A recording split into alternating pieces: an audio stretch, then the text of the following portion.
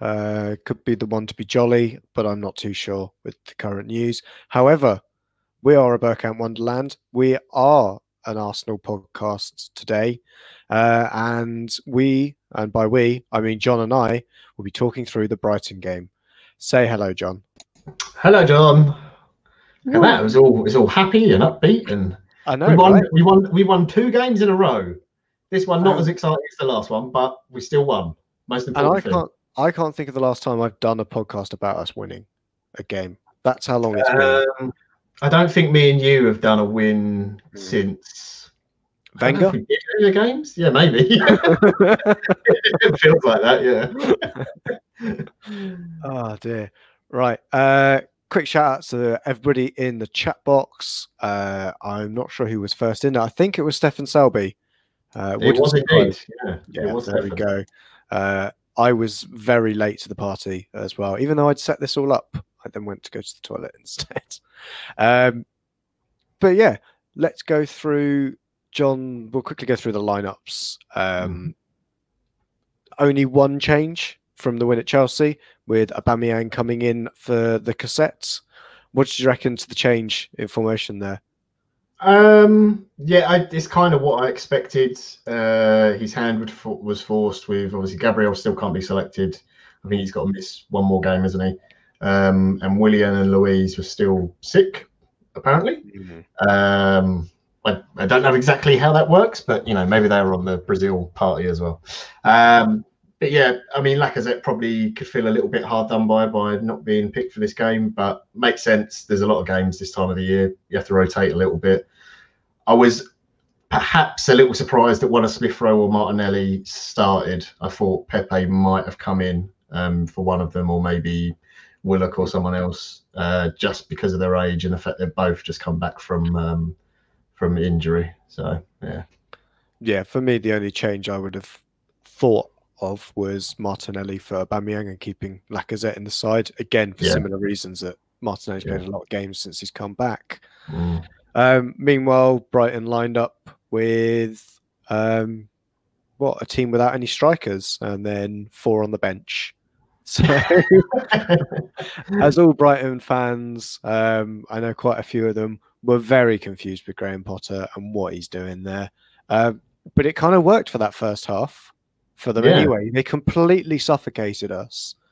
Um, yeah, talk us through some of the moments from the first half as well, John, because I think it wasn't great from an Arsenal perspective.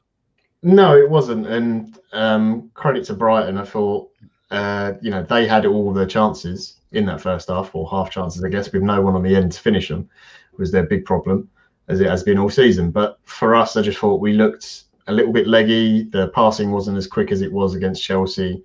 Um, I thought Saka, Smith Rowe both looked a little bit tired from that game, obviously. Aubameyang still is I'm not sure what kind of form he's in because he still looks a bit out of it. I I'll, I cut him some slack in this one because in the first half we didn't really get him the ball. But Lacazette, as much as I am not his biggest fan, at least can play with his back to goal a little bit better, and you can play off of him. Um, but it was it was always going to be a different game because against Chelsea, you knew there was going to be spaces and we could open them up because they're going to push onto us and they're going to try and be be progressive. Whereas Brighton, they didn't really press. They didn't quite sit off, but the defense didn't particularly get high up the pitch. The midfield kind of sat there. Um, Bas- Bissouma was just picking up every loose ball or pass and 50-50 for them. Um, he's a player, by the way, I would definitely like us to look at possibly getting. Um, so yeah, you know, Brighton, I thought played pretty well in the first half, suffocated us. We just played too slow, um, and it really was just a case of. I always thought this might be one of those games where you're going to have to be patient and wait. It might have been a case that the second half was more likely when you're going to get the goal, just because they're. I know they're not having a great season, but they are pretty organised at the back and defensively as well. They're they're pretty solid, um, and we just didn't get beyond the defence really enough at all. Uh, there was a lot of like running and moving from Martinelli and Aubameyang, but it just wasn't being picked out. Smith Rowe wasn't getting the ball enough. Saka was looked like the, the one thing I'd take from the first half was this is the first time since Saka's come into the team where I thought he looked a little bit lightweight and a bit tired because he has played so much. Smith Rowe, that at times looked like boys playing against men. Just in terms of physicality and how easily he was getting muscle off the ball. And as much as I love Martinelli and his running, it's it's amazing how much energy he can put in the game. But there was that also. Uh, he is extremely raw still, and sometimes his decision making or his passing isn't always the best. And his like technical game needs to be upped uh, quite a bit, and just sort of tactically. Um, and I thought that's what Brighton did very well in the first half. And yeah, getting to half time, it was like, eh, I'm not quite as confident in this. We, I, I felt we did a change at half time, although we didn't get one, um, just to mix things up a bit. Yeah, I think one thing, especially on the same side that Saka was on, you also had Bellerin, who both looked like they were struggling with and looked like they were targeted, to be honest, with what Potter had done with Brighton. There wasn't a player shorter than six foot on the Brighton side of that pitch. So, yeah. Of course, they were always going to knock long balls in over the top, and neither of them had that have the physicality to really deal with anybody like that. Um, mm-hmm. I think that's where we really struggled with them, and as you say, kind of in the second half, it all kind of changed because Brighton kind of came out a little bit. From there, they always were playing that high line, uh, at least from what the commentators were saying, that there was always that option over the top, but we weren't mm-hmm. necessarily playing it. And yeah, I think that's where we'll kind of go into it for a bit more. That whatever Arteta said at half time, you could see that however inconsistent, you know, young kids are, if you do give them a bit of uh, you know a little bit of a rollicking or a little bit of feedback, they tend to take it on board, and yeah. they looked completely different in the second half. Completely Yeah, they they looked like much more energized. The passing was quicker. They were more adventurous with the passing as well. There was a lot of in the first half, sort of, okay, we're going sideways. We're playing the safe ball. We're not going to risk too much at the start. Um, which again struck me as a little bit odd because I just thought, well, it's not like Brighton have got bags of pace or anything like that, or any real goal threat on the pitch. Because, like you said, all their strikers were on the bench. Um, but yeah, we were just a bit more adventurous in our passing, and you just saw straight away from the, the kickoff of the second half, uh, like two or three chances within the first couple of minutes, just carved open. Lacazette, uh, sorry, not Lacazette, sorry, Aubameyang getting into the game or actually getting on the ball, turning balls out to Tierney or to Bellerin, and then getting back in the box. Um, Saka actually running at his man, Smith Rowe getting on the ball a little bit more, or even when he wasn't getting on the ball, he was moving into space and dragging a player with him. Noticeably, Bissouma was not in position as much in that second half because he was getting pulled about a lot more and having to do a lot more work than when we were a lot more static. Um, yeah, and then it just obviously it came down to the what ended up looking like a genius substitution, but I think is more about that 19 year old kid yet again. Yeah, absolutely. And I think Saka found he finally managed to catch Dan Burn high up the field mm. and turn him. Um, you know, he's a big guy, Dan Burn, as many, many commentators will tell you he is six foot seven, Dan Burn. uh, managed to finally turn him and yeah, break down the wing it was quite funny watching the kind of foot race because it was like every six steps Saka took, uh, Burn just took one, and it was the same length stride just to get back to him. So he never looked like he was fully, uh, you know, pulling away from him. But yeah, a great cutback into Lacazette, who what first, yeah. second, and third touch was just to set it, knock it out of his feet, and then smash it into the corner. And it was yeah, it looked superb from that point of view, and I think that was also, as you say, Brighton were getting a little bit more leggy in midfield mm-hmm. because there was that gap and that space that wasn't being either we weren't finding it between the centre backs and the midfielders, or it was just more apparent where Lacazette yeah. was when he put that in. But I think, yeah, that, that finish as well from Lacazette. As as much as I criticise him, and I have a lot this season, um, he seems to have found a bit of form again now, which is really helpful for us because obviously Aubameyang isn't doing so well. Um, but yeah, the first touch I was a little bit worried about. I thought, oh, that's a little bit heavy, but then he just sets it again, and it's a really, really clever finish. A really difficult one as well because he uses the defender to bend it round into that near post. And um, oh, I can't remember the name of the goalkeeper now. Uh, Sanchez. Sanchez. Yeah. yeah, yeah, absolutely no chance to it. And to be and uh, you know, if you're a Brighton fan, you probably feel a bit sorry for him because not long before that, he'd made an absolutely brilliant save from uh, Aubameyang uh, from yeah. another chance that Saka had created as well. Yeah, I did wonder on that one. Um, I thought it was a poor finish from Aubameyang. I think he should be scoring it, but then yeah, I do think that. But then Sanchez does everything he can to make the save. But yeah, you would think Aubameyang in like red hot form, like he was the end of last season, he puts that away and doesn't give the keeper a chance to, to put anything on it. But the keeper made a good block. But again, it showed Saka again was a really good strong outlet. Um, Martinelli, I think coming off was fine. I didn't have an issue with that. Um, just like he, he will run all day for you, but the problem is he will run all day even when he knows his body's telling them not to. Uh, a little bit like uh, Alexis Sanchez or Luis Suarez, that whole South American thing, really, isn't it? Um, and there is that risk of recurring any sort of like uh, muscle strains and things like that because of the amount of time he was out of injury. So I think that was a decent substitution in the end, and obviously it did work out because, like I said, came on and, and settled the nerves a bit. Um, to after that goal, it's weird because at that point you think, okay, Brighton's head's are going to drop, and they did a little bit, and obviously we still had the ball. But generally, as the game goes on towards the end, I get nervy. But in this game, I I didn't feel nervous at all once we went one 0 up. I thought we actually managed the game quite well, which is a big difference from, say, the Chelsea game where we're three 0 up, and then at the end of it, I was absolutely bricking it. yeah, I think one of the things that kind of highlighted it to me towards the end was when Bellerin's making that lone run on his own up the field, and I'm just screaming at the TV, "Go to the corner! Go to the corner!" Because for a bit he looks like he's going there, but Aubameyang, yeah. you've seen from a chance that he's had before, hasn't got the legs to get there in the 90th minute. No. So there's no point trying to look for him at that no. point. Um, so yeah, it was. I think we did manage the game really well. I think one thing that I was very impressed with generally, if you look in the detail, there's minor things, is how well we dealt with them from set plays as yeah. well. You can moan about how Hector Bellerin is, you know, marking the tallest man on the field, but he's also not the most dangerous from a Brighton set play. Yeah. By any um, you know, stretch of the imagination, they've got Webster who scored against us last season. Uh, I think he scored against us twice and then Dunk, who scored in the uh, should we call it the Mope Guendouzi Leno game? Oh god, yeah. This yeah, this not Dunk, remember that one. exactly. Dunk scored the first goal in that one from a dodgy set play. Yeah. Um, so I think that's one that we kind of need to look at in general. That whilst we seem to always bemoan our defending of set plays, when you look at them after the game, you're like, well, we still haven't conceded from a corner this season that wasn't scored by one of our own players. I was going to say, I was about to say yeah. he's, he's, not remembering. Oh no, he did. Yeah. He oh no, yeah, it's yeah. there.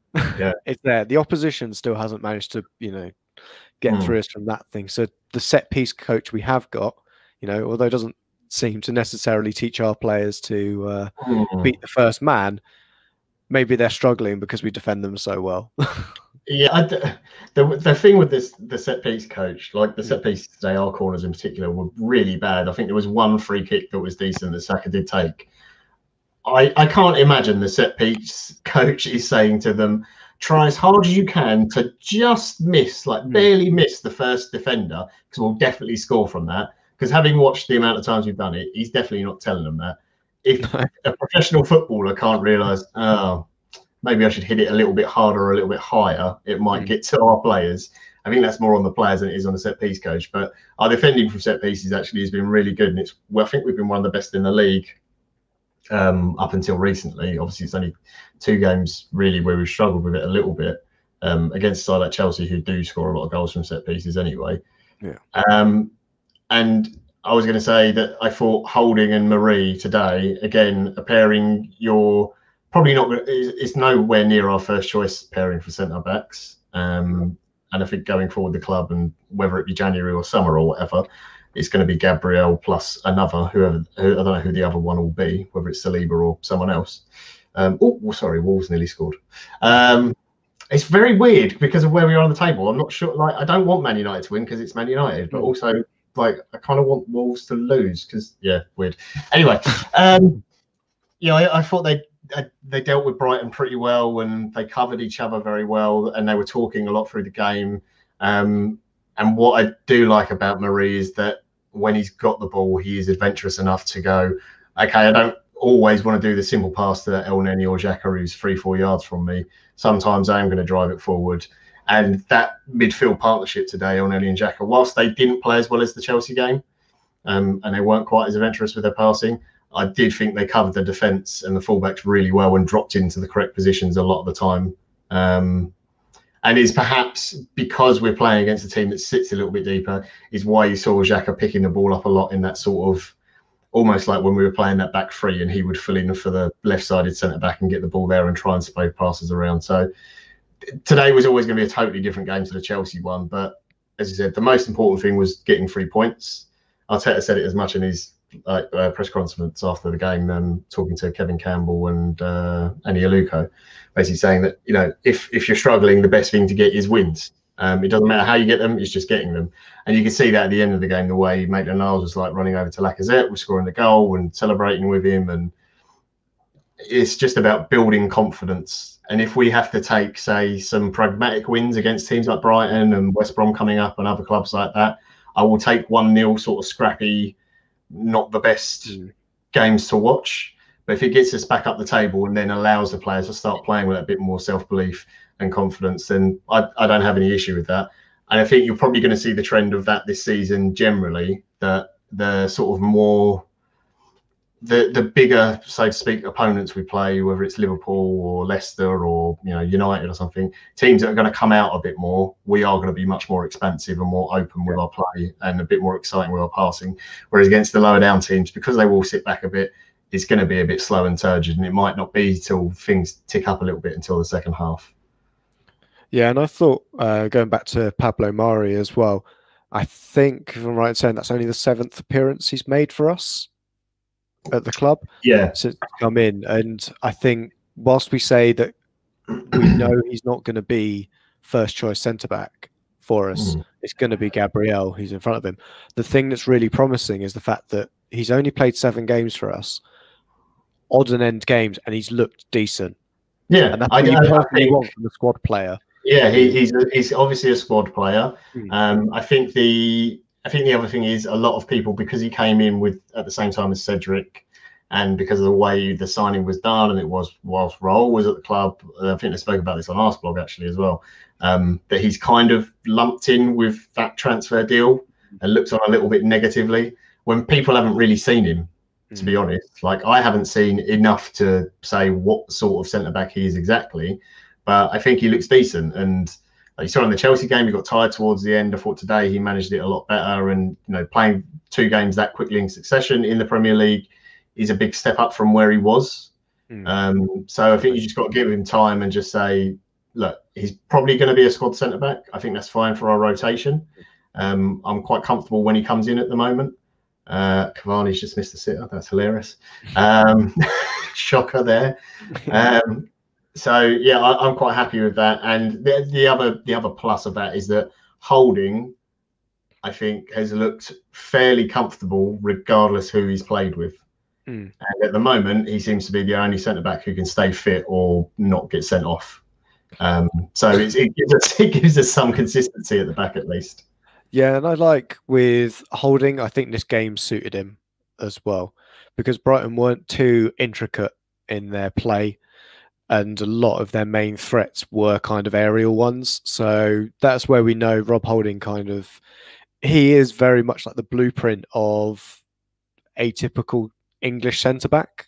Yeah, yeah, you know, but he is good with his feet. He's not great mm. though, but he's great aerially. Loves a battle, like a physical battle with a player. So yeah. whilst he wasn't necessarily getting anything from um, Jahanbakhsh up front, I'm glad you said that name because I honestly, every time they said his name, I thought they said it differently. I was like, what the hell is that guy's name? And I looked uh, up. Like, oh, he's from Iran. I've got no hope in saying that. It's so good yeah. that he's not here today because, uh, yeah. definitely. I think it's because some reason, I think they were showing off and saying his first name as well, which is Alireza. Uh, yeah. yeah. No. Uh, yeah, it's Jahanbakhsh. And yeah. I, I, can't even say I can't say Uwar properly yet, and we're supposed to be saying well, fortunately, we all know how to say Bissouma, and I think he really showed kind of, you know, when players, I think if we were higher up the table and we're doing better, they would say this was his audition for Arsenal. Yeah. Because he showed, and I think one thing that casual watchers of Brighton or non-existent watchers of Brighton have heard about Bissouma, I would say is very similar to Xhaka, but without the history, shall we say, the tainted legacy. He he's a he, bit looked, more precious. looked more, he did look, look a lot more mobile, to be fair, Yeah. than Granit Xhaka did. Um, and just, and I, I would say the difference I saw between him and Xhaka was that Mm. his passing maybe not as expansive, but he actually sits and is a DM, whereas Yeah. we've often tried to play Xhaka as a DM, and he's never been one. Um, so yeah, I, I was talking to Neil um, from uh, who was on the God can't remember last time he was on the podcast. I'm not sure people remember him. Chimp Gooner on Twitter, um, and we were discussing how nice it would be to see Bissouma next to Thomas Partey. Would be an Yeah. interesting midfield combination. Um, nice, big, tall, athletic, muscular, strong. Uh, yeah, just lots of legs. That that would be a, a nice, interesting partnership for um, for me. Yeah, him and Sander Berge from uh, Sheffield United, and that sorts our midfield three out because there's no way you're getting past them. They're all massive and Yeah. very technical, and it's exactly what we kind of need at the moment to upgrade in general. Um, right, where do we kind of go from here as well in terms of player performances? Um, man of the match was Saka from not Sky, Amazon. Do you think Yeah. that was the right choice? Um, I actually thought Bissouma was probably for the 90 minutes the best player on the Mhm. pitch, um, just in terms of what he did, and he just stuck to his job. Again, maybe not the most exciting player to watch, but I thought he was excellent. Um, I don't think Saka was our best player. I thought it was. Hmm, I'm trying to. Honestly, it was probably Holding or Mari for me. Although they didn't have a ton to do, I just thought they did their jobs very well because I thought that Saka second half he was much better. He was excellent, Mm. but first half I really didn't. I thought that was one of the worst games I've seen him play. Um, partly again looking slightly leggy, and partly down to you know a lack of movement around him and stuff. Um, so yeah, I'd probably give it to one of them. I would have given it to Tierney maybe if it weren't for there was one moment where he just completely lost his footing and got completely jumbled up and gave the ball away. Um, we should probably talk about just because it's hilarious. Um, uh, yeah, if you do have any questions, pop them in the chat. And if you're watching on Twitch or what's the other one? Periscope. There we Periscope. go. Yeah, and Facebook, we might be on there as well. I don't know. Danny knows. Not not Um, tonight. Oh, we're not on there tonight. Okay. Oh, because Josh doesn't know how to do that one. I I was only when I was clicking through of which ones we can set it up. I could only set three up, so it was like a Oh. It was like a roulette, and I was like, well, I think we need YouTube because you Yeah. know it's the one we go live on. Uh, that- we'll go Twitch, and then we'll go maybe Periscope, and we'll see what happens. But yeah, if you do have questions, feel free to pop them in and we'll get to them. Um, yeah, I, ju- I just we had the Leno juggling the ball moment, um, which is the weirdest. It's not the weirdest thing I've ever seen in football games. I've seen plenty of weirder, but you know when you like when your dad's a bit drunk. Um, apologies to anyone who doesn't have a dad. Um, but when your dad's a bit drunk and he's talking to you about when he used to play football, and he goes to do some keepy uppies, and he does the Mm. first one, flicks up, is fine, and then puts it on his knee, and then looks horribly awkward. Uh, just, it's just that that part just reminded me of that, and then Elneny as well, just for completely forgetting how to play football for a moment and going, I know what I do. I'll give it to a Brighton player right on the edge of our box. Thankfully, Brighton didn't have a striker on at that time Oh. because yeah, I think for the chances they got in the first half, had they had an actual striker on, uh, yeah, we could have been haunted by someone like Danny Welbeck maybe. But um, yeah, I thought overall the team did well. Few couple of little scary moments, but it was one of those very like calm, just manage the game. We got the goal. Again, manage the game. If the space opens up, we we can exploit it. If not, just keep the ball, run it into the corner flag, doing like sensible sort of normal football things, which we haven't done for a long time. Oh, and anyone that's looking in the chat box can just see I've posted Phil Macker's question to everybody, and that was because I hit the wrong button. Uh, so that's why we have normally have Danny doing this because no one can concentrate on doing more than one thing at a time, especially me. Uh, yeah, trying to copy those things and listening to John. Uh, You don't, so you don't, you don't have to listen to me, Josh. It's fine. No one That's listens. all right. to. I I heard the Leno bit and then suddenly I was panicking, and I was like, I don't know what I'm doing. It was basically like Leno when he had the ball. Um, as you say, it was just an odd, odd moment, and there was also, um, I think, we could maybe talk about it. Well, I'm going to, Mhm. so it's going to happen. Uh, Smith Rowe towards, I'm going to have to think of second half, uh, where Saka gets the foul, um, where he's elbowed by Gross, and Xhaka takes a free kick and it, it flies over. I think it is a foul in that moment, but it's the annoying thing where VAR is not inconsistent because you don't necessarily want it to look at everything because it just slows the game down. But I think if that happens in the box, it's a penalty Yeah, because, uh, yeah, Smith Rowe's taken out by Veltman completely, and yeah, it's just lucky that we end up getting a free kick because someone else takes out Saka. But it's just one of those things that I was just like, so infuriating. Why? Why could we not? How could you not see that as a free kick? Because I think it was in a better position. yeah. Um, but yeah, I think that is kind of the game wrapped up mainly. Hey, Who have we got next? West Brom? Uh, West Brom is next. We have where are we?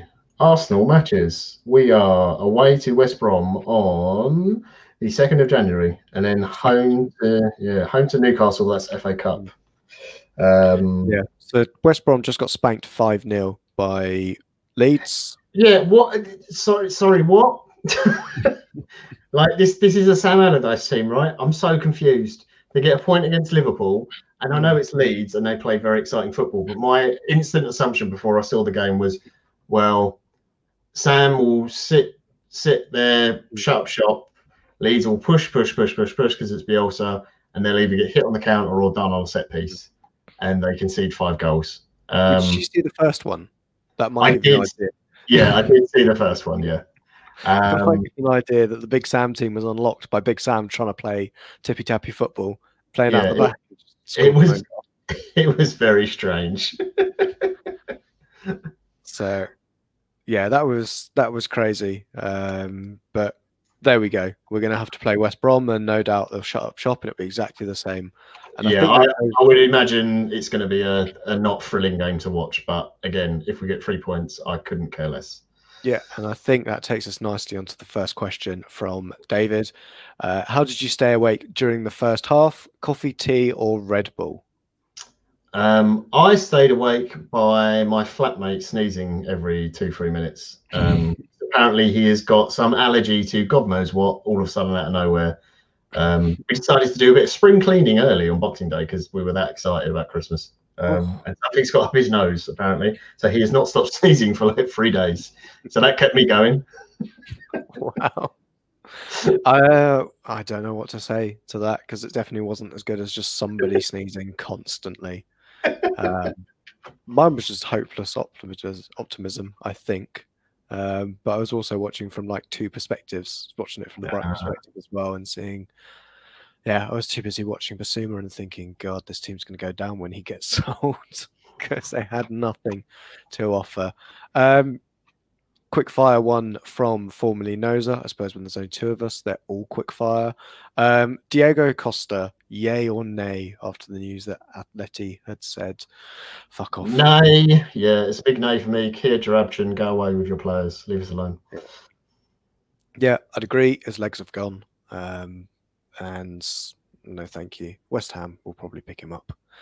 Um, I mean, unless he wants to come in the dressing room and beat up some players that we want to leave the club, that was, um, I mean, that could be worth it, like a year's deal.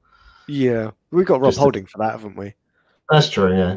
I don't, I don't know. Uh, it's just that accent. It's not that intimidating. I heard No. him say like a brick shit house, so it's, it's it's not that scary. No. oh, oh wow. Um, what have we got here? Um, did Rudy Rastos ask a question? Was there a question in here? It was Um, it was more a statement, yeah.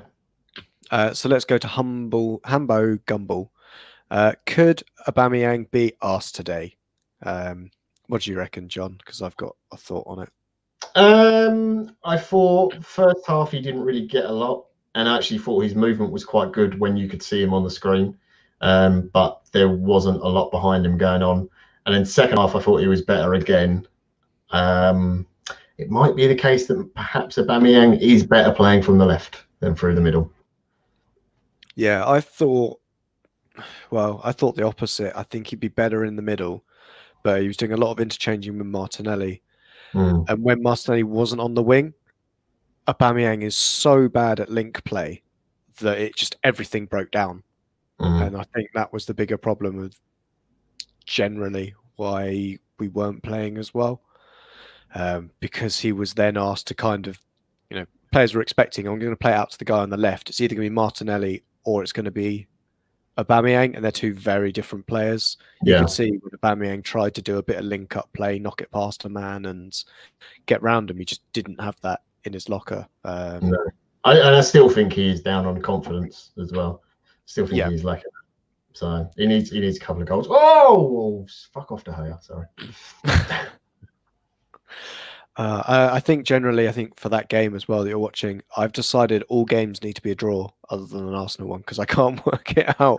Yeah, I, am like I don't. Oh, I want Wolves to win, but it's probably better if they draw for us. Yeah. yeah, weird. I think a draw works out well for for us. For I think any teams playing other than Liverpool who Yeah. we need to win to stop Spurs winning the league. That's a, the Ah, Spurs are point. stopping themselves from winning the league. It's fine.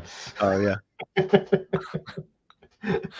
Uh, right. Uh, questions from Phil Macker. I think everybody's seen this question. So, uh, but any chance we ship out some dead wood in January, or will we have to wait till the summer? Uh, uh, I don't think Ozil will go.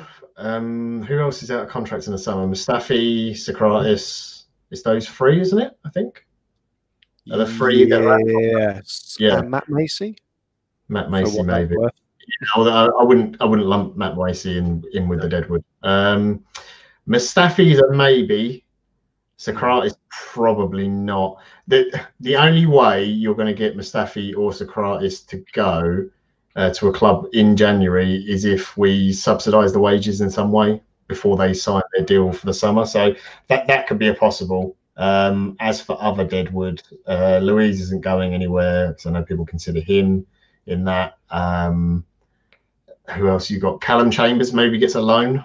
Again, I would I think I would call it harsh to call him Deadwood, but Yeah. the, just the amount of defenders we've got, um, I'm not sure necessarily that he's gonna uh, get picked or played that much. Um, and then there's the William Saliba thing, which I've got no idea. I, I assume he goes on loan somewhere because they tried so hard in the summer and cocked it up at the last minute. So I'd assume he goes Yeah. out.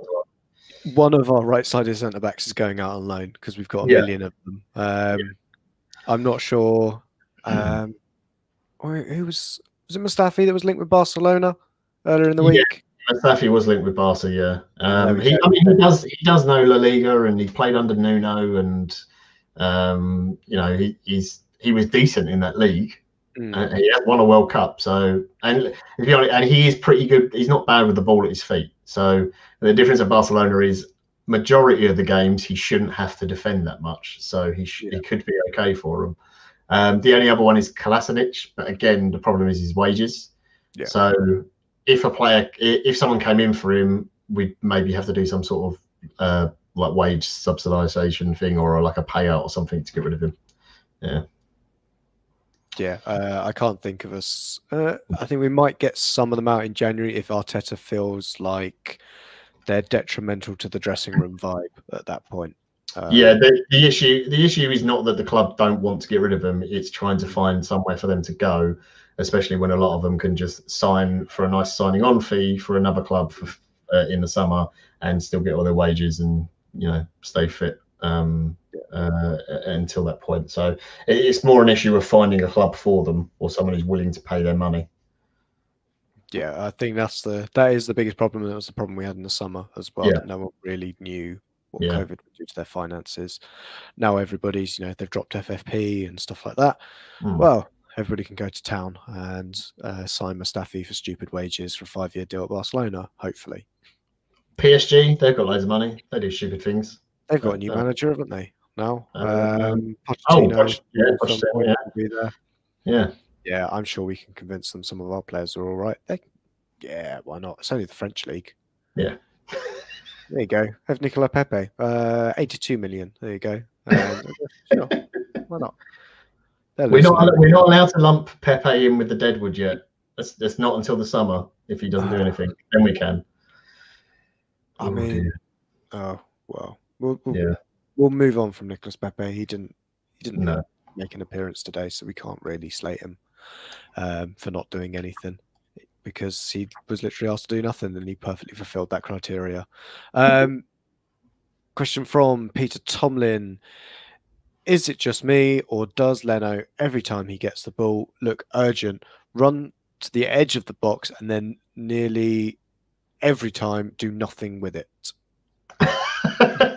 um, yeah, I, I think that's true. I think that's partly down to his distribution. If he's throwing it, it's fine. But I think the fact was we weren't pushing that high up the pitch today, so his outball options weren't great. And generally, when he did get the ball, Brighton did actually have quite a few players in the box. So um, I think he was scared of losing it. Um, when he did try and go long, his passing wasn't the best, and it's something they do need to improve. And I understand why people will bring that up because when Emi Martinez was there, he would get the ball and he'd punt it long to Aubameyang. But that was when Aubameyang was in amazing form, or to Martinelli, who again was fully fit and raging and could apparently run the marathon every single game.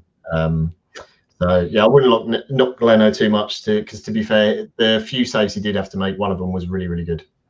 Actually, And I will mention that Len, uh, Martinez was shit in that last game uh, that we played at Brighton as that well. true. He was not very good. He was at fault for their goal. Mm. Anyway, um, good riddance. So that's there just particularly for Chris. Good riddance to Martinez. Um, question Uh, from where have we got down in this Oh, we, we we did hum Hambo Gumball already, didn't we? We have. So we're on Thunder Road. Please provide a comprehensive list of all of Arsenal's bogey teams. Um, Oh, Jesus. I, Uh, think, I think the quickest way to do this is look at the league table and remove Spurs. That's about it. uh, Everyone yeah, else. basically, probably remove them and Leeds. Uh, um, Burnley. Yeah, we could remove Burnley from that list and Fulham. Oh yeah. Ful- yeah. Fulham's no one's bogey team. No, They're they're just they're, too they're, their own bogey team. so yeah, if you take out if you take out Fulham, uh, Leeds, and Spurs, uh, then yeah, the, the rest of them. And we're not going to talk about teams in Europe because that's horrible memories. We haven't got enough time to go through Yeah. every single one. Any, Uh, anyone beginning with the letter B. That'll do. In a in a potential one team league as well. yeah. Um, right, question from Matt Roberts. Do you think the league can continue if more people at the clubs are getting COVID? So this is interesting as well because the Everton Man City Mm. game was called off because apparently too many Man City players had COVID. But then um, Southampton played, didn't they, today Yeah. earlier? Um, It's, it was very weird because there was there's been no clarification uh, on how many players at City have got COVID. So that my issue with it is is that the directive from the league before the season started was that games will go ahead if players have COVID, uh, as long as you can field 14 players, including players from the under 21 squad. So to think that City don't have enough players mm, I can't imagine that unless their whole squad has got it or that the other players are at danger. Um, I think for the most part, the league will continue. There's still enough time in the season to rearrange games unless it starts happening with more regularity. Um, you'd have to get to the point where there's like 10 games or something have been postponed. Then they might have to do the, you know, sort of stop start thing like they did previously with the league. So, Yeah. Or just flip it and if you're if both squads have got so many players named out with Mm. COVID, you just play all your COVID players and it's fine. If you can name a squad of people with COVID, then we get two sides with players with COVID in, and it's then a playing level playing field again. yeah. Um, yeah, we just got to find a ref with COVID to do it as well. That's fine. I'm sure there's a few referees that players would gladly infect with COVID.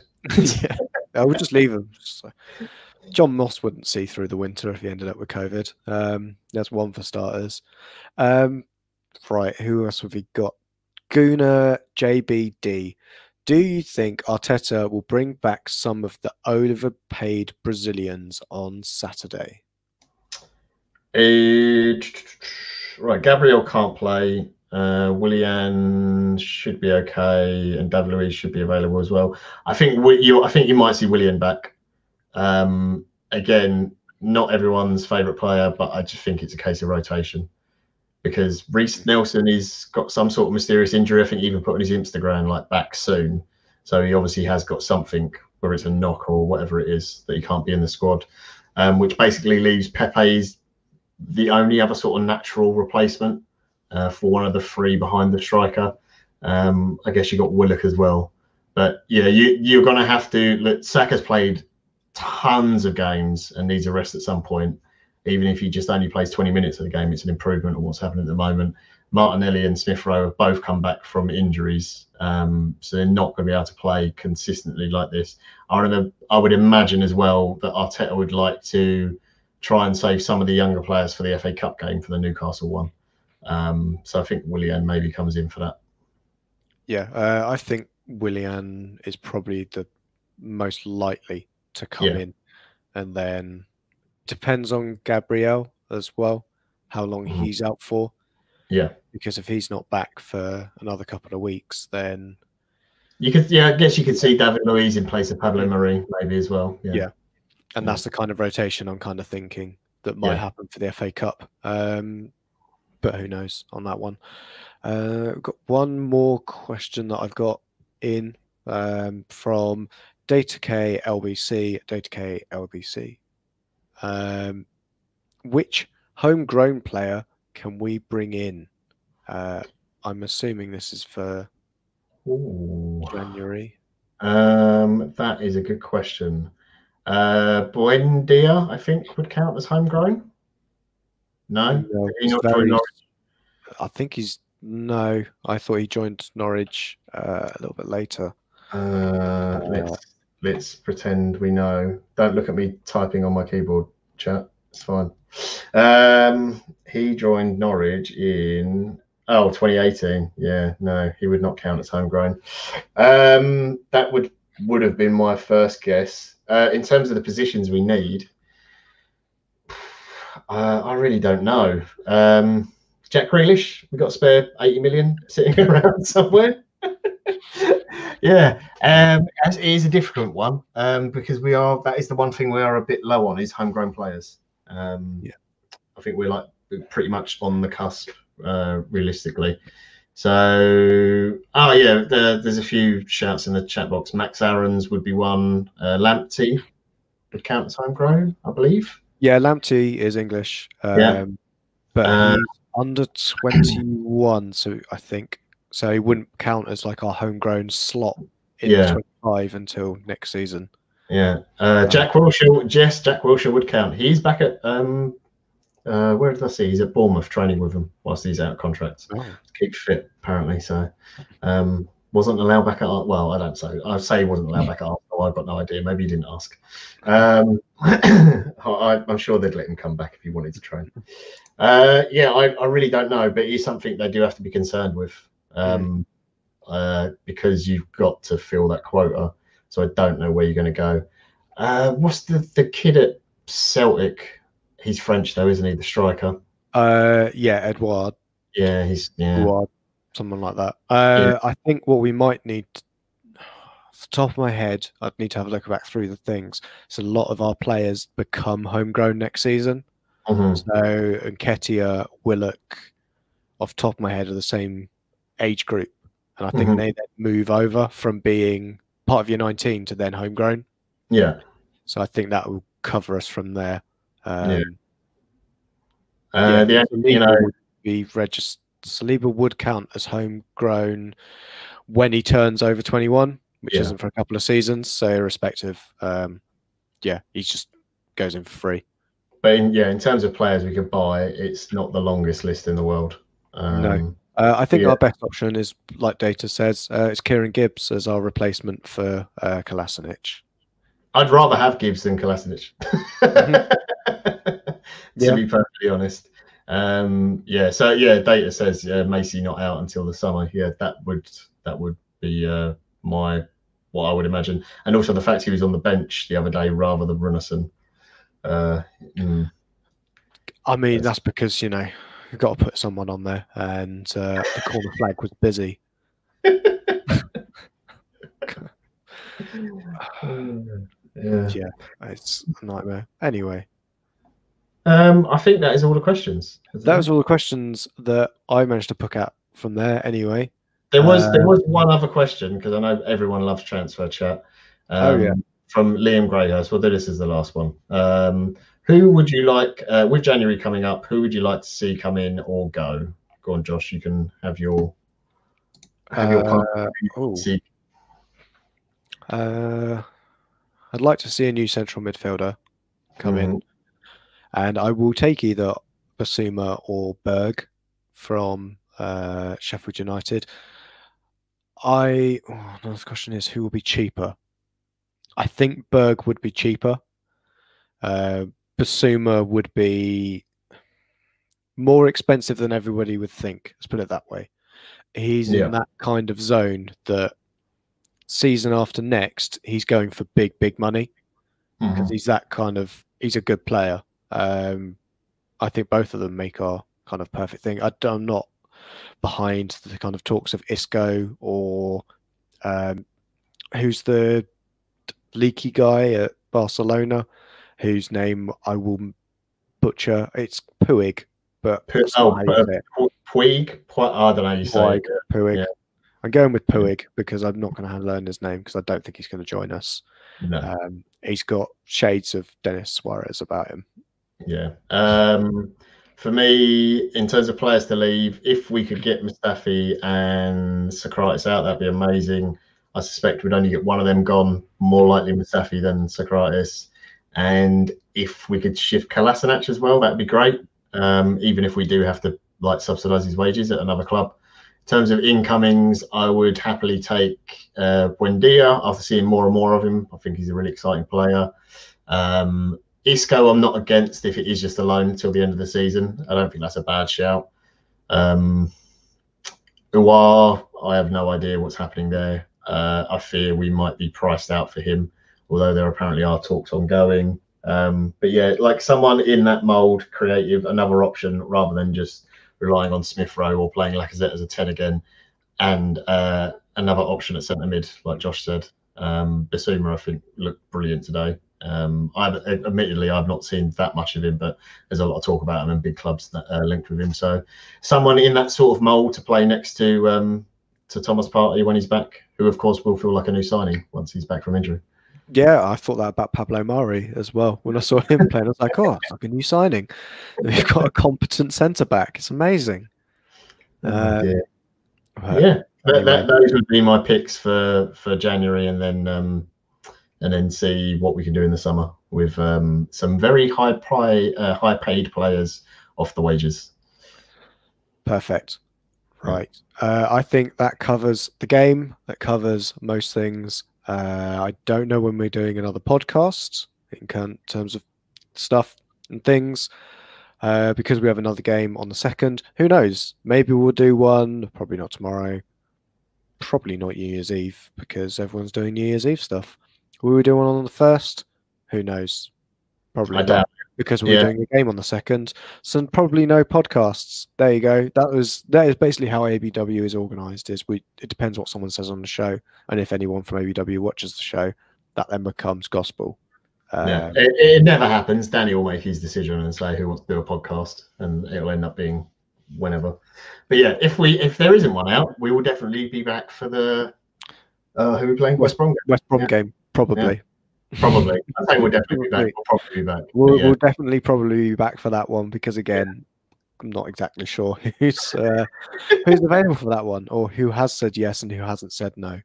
Um, Um, oh, we're supposed to do the, the- Normally, there's a thing at the bottom of the screen that says Oh, about a, a, a discount if you. Oh. God, what is it? Is it just Bergkamp? Oh, Josh, Josh might have it. He Oh, might have the. these. There Oh, go. there we go. Look. Oh. Look at that. Very exciting. Um, if you go to manscaped.com and use the code BERGKAMP, you get 20% off uh, all the Manscaped products. We got sent some lovely Manscaped products. They're very good. I do approve. Um, I can also inform you, my lady friend approves. She thinks it's, it's wonderful um, that I am much more organized. I didn't know how to say it. Trimmed, yeah, whatever in that area. Uh, you can also use them if you're a lady. Um, but there you go. Yeah, and you get underwear and cool bag and all that sort of stuff. It's very great. Um, it's good. I did use the uh, the bag, yeah, uh, and shaver in Yeah. a couple of days. It also works on your beard as well. Not that you can really see um, that I've done anything to it because it barely Yeah. grows at the moment. Uh, as you can see, I'm also distracted now because I've managed to find all the clicking things. So I think we'll leave it Yeah. at this one. I also like that this is an example banner. Click on a banner to show it on screen. I think that's Yeah, that's- with. That's a very good one. Um, my lady friend is not called Kevin, uh, Phil. sorry. Um, I could call her Kevin for you though. Uh, if you give us a thumbs up, Phil, then I will call my lady friend Kevin next time I see her and see how upset she uh, she gets. A, a thumbs up for a thumbs up. Let's put it that way. There we go. Exactly. um, and on that disgraceful note, uh, you can also give us a like, um, give us a subscribe. What else can you do? You can click the bell. So when we go live, you'll know when we go live. But you can only do that on YouTube. You can't do that on other things. Ah, oh, you if- might be able to. If you're, on, if you're on Twitch, you can click follow and you can get the alerts when we go live. And if you have Amazon Prime and you don't regularly watch Twitch, then what you can do is you can click the subscribe button on Twitch. Doesn't cost you any money. You get one free subscription every month to any channel of your choice. So if you don't watch anything else on Twitch, you can give it to us, and Danny can buy some new bath sponges because he uses them a lot. I had nowhere to go with that one. Yeah, That's all right. He needs a bigger bath sponge from that picture that goes around Twitter every so often. Um, true. yeah, we he needs bigger bath sponges. Uh, Yeah. and on that disgusting note, um, yeah, I'll just say thank you, John, for joining. Thank you very Um, much, Josh. Pleasure as always. It's been fantastic pleasure that we've finally got together to actually do a podcast because I think we've not done the last two due to Yeah. various events, either shit games or non-availability. You can decide which games those were. Um, but yeah, we will be back for West Brom, probably, maybe, who knows. But until then, thank you and good night. How do I turn this off?